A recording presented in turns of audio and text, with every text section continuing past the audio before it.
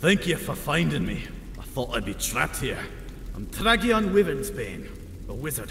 My companions and I came here with the Doom Guide, but Idris killed them all. Only I survived.